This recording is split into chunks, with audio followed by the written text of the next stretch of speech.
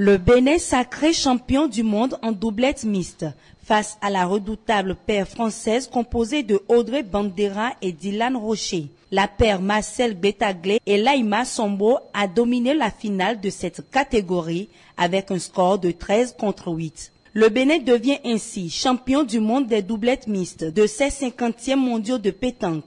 Les guépards et les amazones boulistes font rêver le peuple béninois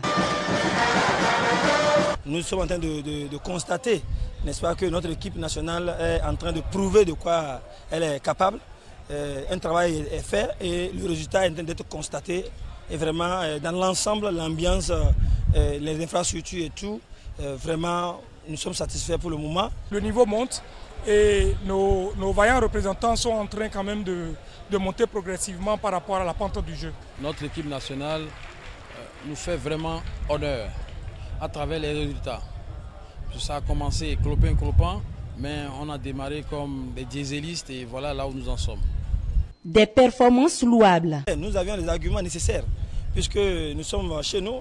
Euh, vous êtes d'accord avec moi qu'on ne pourra pas avoir dans votre effectif euh, un homme qu'on appelle Marcel Bio, le robot béninois, le colonel euh, Wetablé, hein, on appelle ton Gérald, l'icône de la pétanque béninoise, le chancelier Moustaïne et tout, tout le reste, et ne pas penser à la victoire finale Malgré tout l'espoir porté sur les guépards et les amazones boulistes, quelques ratés sont observés lors des différentes prestations. La compétition se poursuit et prendra fin le 17 septembre prochain.